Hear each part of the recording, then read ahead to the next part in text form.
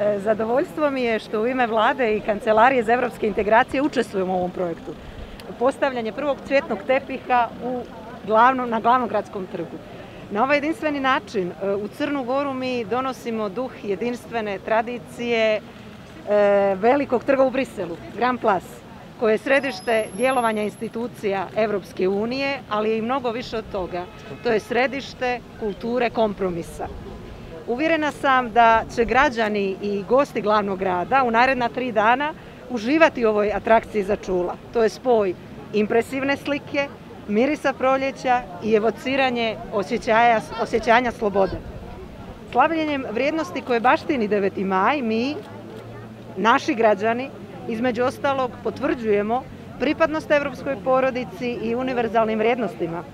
Radeći na sebi, svakoga dana mi vrijedno i kvalitetno dokazujemo naše evropsko opredjeljenje.